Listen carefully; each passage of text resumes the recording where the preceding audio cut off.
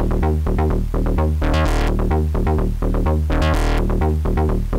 you.